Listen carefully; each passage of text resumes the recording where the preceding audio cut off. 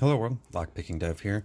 Today I have myself an Avis challenge lock. This is Barolo, which is named after a wine by Dr. Nebbiolo, which uh, Nebbiolo is the type of grape used in Barolo wine. This has a really cool grape engraving on the front of this too. So let's see if we can get this open and I'll show you how pretty this thing is. And uh, I've tried this uh, one real time already and it is uh, it is a fun little lock.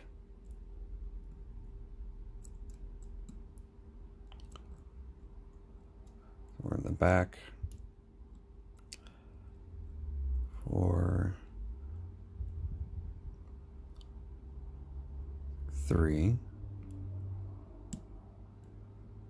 There we go.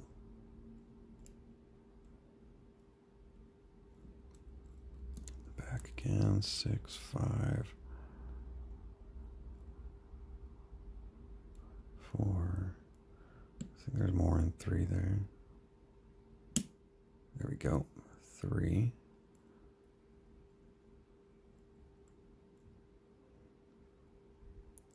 Four.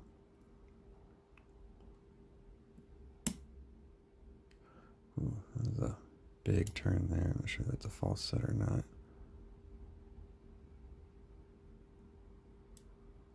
Yep, sure was. He's gentle with this.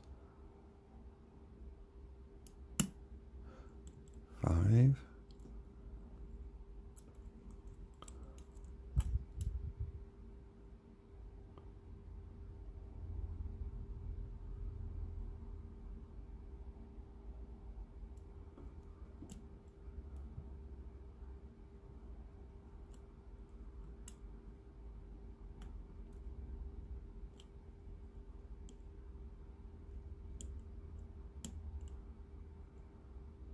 Two.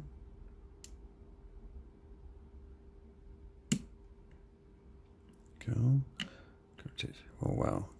Crazy good rotation there. I'm not sure if that's a good or bad thing, but let's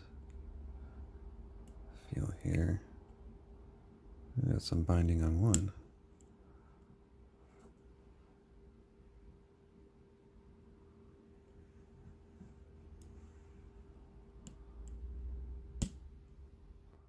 Looks like we got one.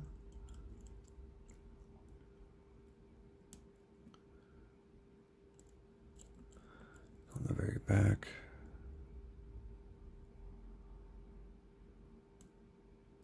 Six. Be careful here.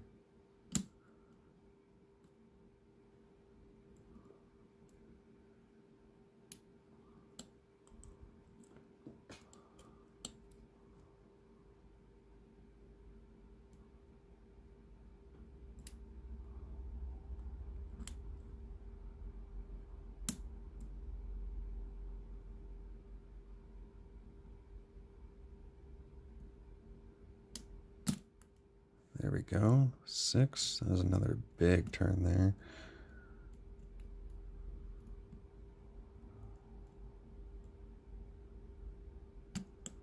It's like three.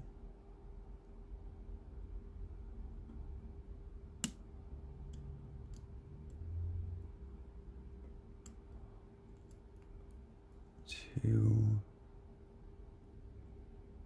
Feels alright actually. Two to set.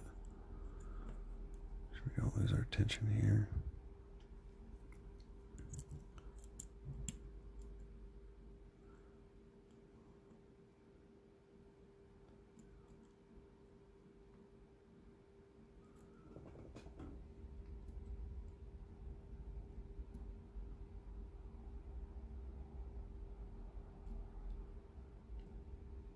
it looks like pin six.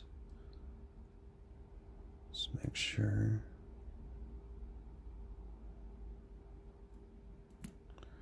Yeah, I'm too sure.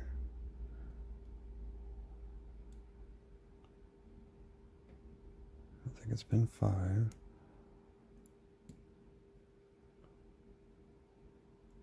Pin four. There's a little bit of binding to it, but I'm not getting anything out of it that could be set.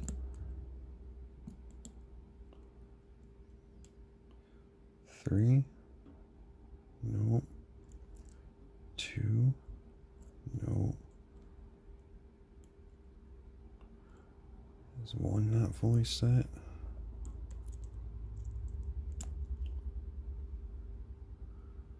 think that might be it, actually.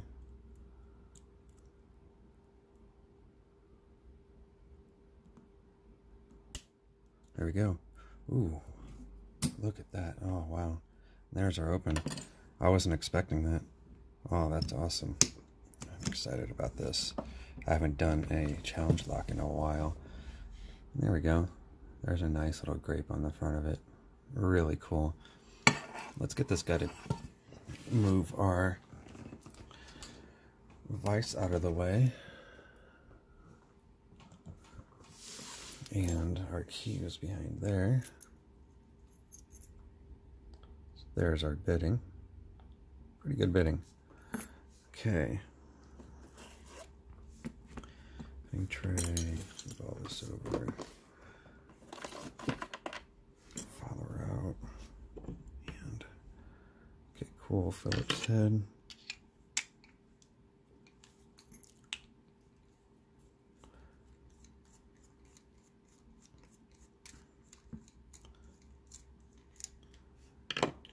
And I know they said that the, there it goes, the sixth pin area didn't have a, um, a cap on it for whatever reason, so I'll put one on it. And as you saw, uh, our spring went flying somewhere, but that's okay. We'll just, uh, we will get, I'll just replace that when I get to, ooh, wow, look at that. That's nice looking. So let's go ahead and get this off.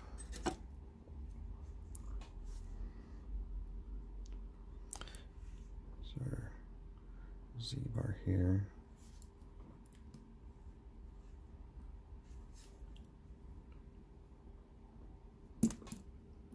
There we go.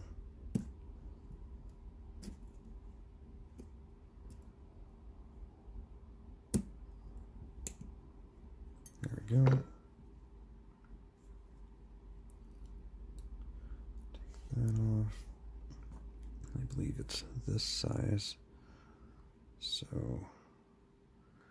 if there's anything else I gotta worry about, I need to make sure that in the back here, the I need to make sure in the back here that the driver pins don't fall down in there. So I'm gonna rotate it that way just a little bit. Oh yeah, and our detent pin right there that we're gonna have to push to get this to come out.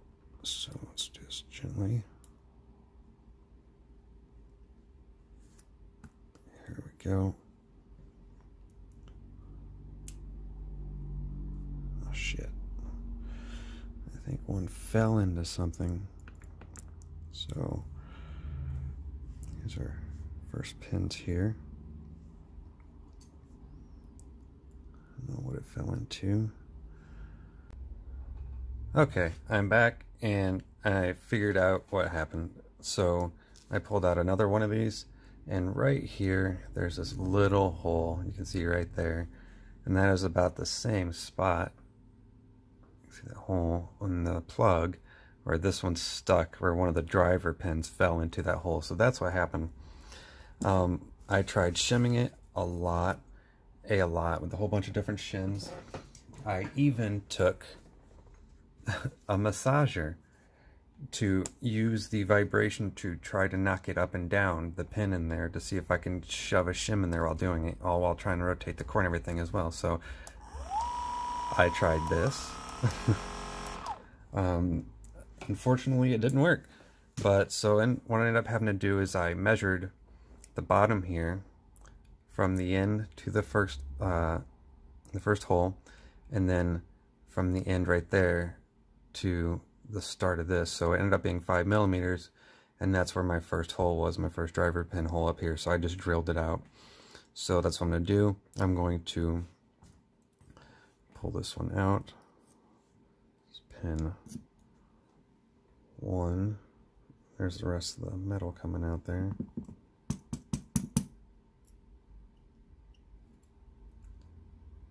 Go. Oh. Okay, it's having a little trouble right there. The hole must be a little tight. So what we'll do is we'll just continue with our follower just to get it the rest of the way out. Oh shit. Tell me I just got another one in there. Oh no, okay. That should happen. I say it's not completely on the side like that. I should have been out of the way. So turn this even further really.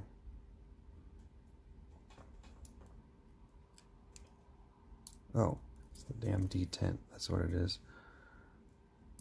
That was a strong spring. That sounded kind of odd. So there we go. Now, so yeah, there's the hole I'm talking about. So one of my driver pins got stuck down in the hole right there. And then you can't forget this detent pin right here because yeah, it'll get stuck in these bottom holes and whatnot and just get in the way. So let's get the rest of these out. So here is pin four, five, and six. Nice looking pins. Now let's do the rest of the driver pins. So here's the front. Oh yeah, pin one doesn't have a spring in anymore, so there we go. One.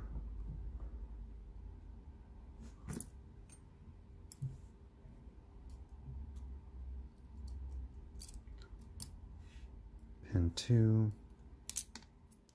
Pin three. Rocket it out.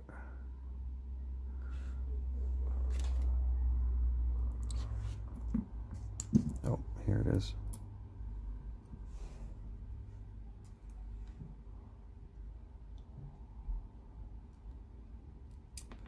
Four. We got pin five already, and then there's pin five.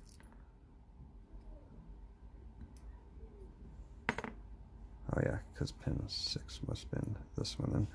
Here is pin 5. There we go. Okay, perfect. So we didn't lose that pin earlier, so that makes sense because, yeah, I forgot about that.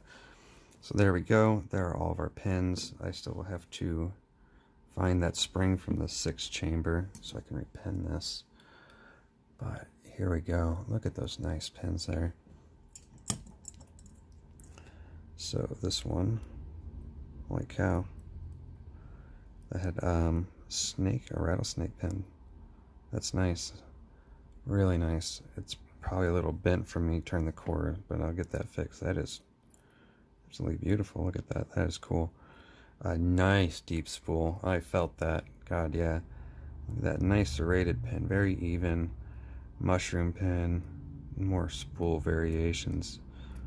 And look at our key pins as well all different types of serrations and spools and a rattlesnake pin. That's cool. I didn't expect that.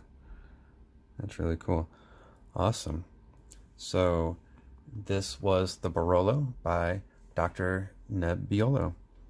All right, everyone. Thanks for watching.